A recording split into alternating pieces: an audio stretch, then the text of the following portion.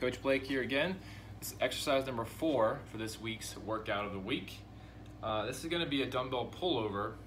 Um, it's going to hit your lats here, this big muscle coming from your shoulder to your lower back, and then it's also to hit your triceps, back of the arm muscle here.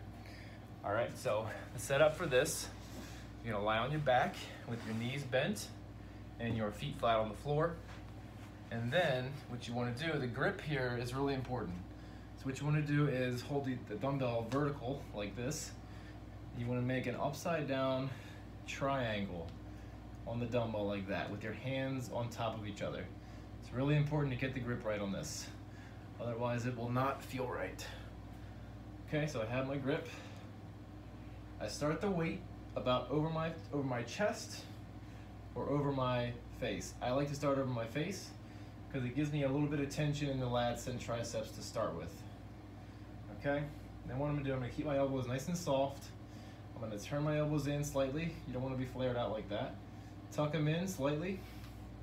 And then I'm gonna move from the shoulder here. I'm gonna come back behind my head. I'm gonna touch the floor. I'm gonna initiate with my shoulders and elbows. I'm gonna bring the weight back up just like that. My elbows do not bend. They stay soft the whole time. They don't move. It's all in the shoulder. Okay, tap and bring it back up. And keep the weight vertical the whole time. Okay, you're gonna feel this right behind your armpit and you're gonna feel it in the back of the arm, right here, okay?